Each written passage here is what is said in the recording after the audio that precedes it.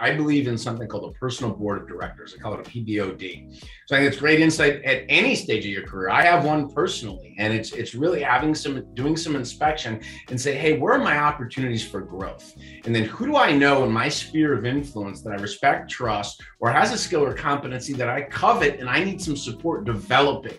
And then and then reaching out with some express invitation or ask of those people. And it's great if there can be reciprocity, right? If you can give something back in return but formalizing those relationships and i have i have eight people now in my life that i can meet with on a regular informal basis when i'm challenged that can expand my perspective and thinking and it's dramatically improved you know my approach uh, my success uh, the growth of my business, and I think in many respects the quality of my life. So, uh, and it's and it's amazing too. People are often intimidated just to ask.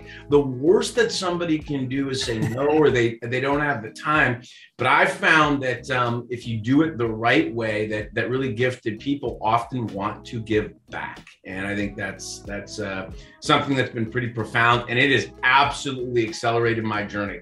I've I've never worked professionally without a mentor and I've never worked uh, over the last decade at any time without a, a professional coaching relationship. So I'm, I'm a big believer in investing in myself and it accelerates my returns.